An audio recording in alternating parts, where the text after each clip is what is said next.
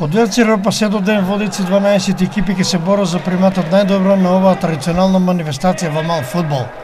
По четврти пат, турнирот водици е под покривителство на Обштина Штип и на Брегалничката епархија и на него годинава ќе се направуваат 12 екипи. Во првата група од 6 екипи се Черења, Добри деца, Тейстайл, Лаш Компани, Кежовица и Виртуози. Во групата Б Дани, Ел Тигре Лозово, Обштина Штип, Савара Штип, Руски кафес и Дома кафе. Вечерот на програмата се три надпревари во кои се среќаваат Черења, Виртуози, Добри деца Кежовица и Тестайл Лаш Компани. Надпреварите се играат со почеток од 18 часот. Инаку турнир ќе трае се до празникот Водици, кога ќе се одиграат финалните надпревари, а надпреварите ќе се играат во спортската сала на основното училиште Тош Арсов.